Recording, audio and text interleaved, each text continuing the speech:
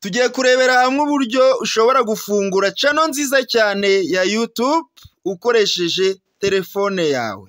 Twagiye. Injira muri burawuza yawe ukoresha ujya kuri interineti numara kwinjira muri burawuza yawe urajya kuri YouTube. Kanda ujye kuri YouTube. Ngira ngo urabona ko tugeze kuri YouTube. Hano kuri YouTube rero kugira ngo ukereye cano urareba porofayiro hano mu nguni. Hano hateganye n'iri jambo YouTube. Urakanda ku iyi porofayiro yawe hanyuma ubwo mu by'ukuri uraba ugiye kuri akawunti yawe. Urabona ko Google akawunti yawe idafunguye. Niyo mpamvu urakora sayini ini ukinjira muri imeri yawe.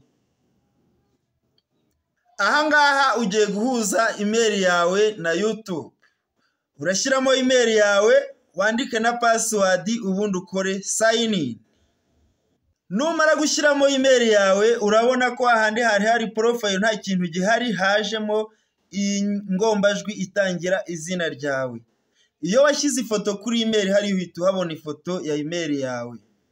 Urabona ko YouTube igaragara muri verisiyo ya telefoni tugiye gufungura YouTube cano kugira ngo ufungure YouTube cano urakanda hano kuri porofayiro yawe. Hariya hagaragara ingombajwi bateganye n'iyi YouTube.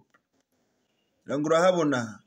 Urakakanda hanyuma ukande kuri yo cano ukanda kuri yo cano byanze bikunze kugira ngo uyifungure igomba kugaragaza amazina abiri. Ubishaka wahita ukanda hano kuri kiriyeti cano ubundi ukaba ufunguye iri mu mazina yawe. Hatariho amazina abiri ntibishoboka. Kugira ngo nawe urabyumva. Kugira ngo ufungure cano ukoresheje izina ushaka niba ari izina rya bizinesi wifuza gufungura muri iyo cano urabigenza gute? Urasubira inyuma. Kanda hano kuri kansi ubundi nkwereke tubigenza. Uragenda ukande hariya hejuru mu nguni hejuru cyane. Urabona turiya tudomo dutatu mowa obusheni muri turiya tudomo dutatu uradukandaho. Numara kudukandaho uremeza gukoresha desikitopu sayiti gukoresha verisiyo ya kompiyuta kuri interineti urahakanda kuri desikitopu sayiti ukimara kwemeza desikitopu sayiti urabona ko uburyo YouTube yagaragaraga burahindutse. Irimo iragaragara nk'uko igaragara kuri kompiyuta ngira ngo murabibona. Ahangaha rero n'ubundi kugira ngo dukereye cano turagenda ni bwa buryo turakomeza urakanda. Hariya kuri porofayiro pica yawe hariya ku ifoto iranga imeri yawe hanyuma numara kuhakanda hariya hasi aho kugira handikwe yo cano urabona hariya handitse kireyiti e cano hariya kuri kireyiti e cano ni ho urakanda. Niba wifuza gukereya cano yawe ishingiye kuri bizinesi runaka hano wandikamo ibyo ushaka. Bitandukanye n'ahandi ku buryo bwa telefone watwerekaga gufungura mu mazina yacu.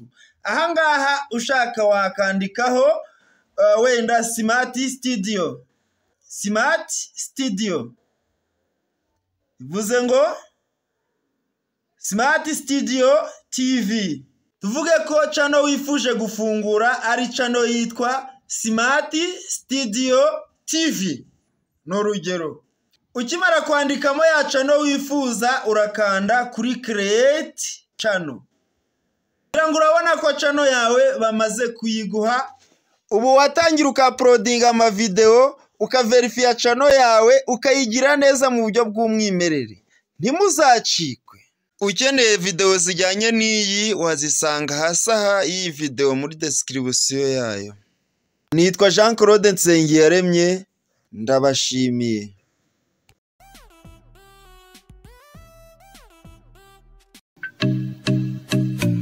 Mukomeze mukanda sabusikarayibu kugira ngo turusheho gukorana neza.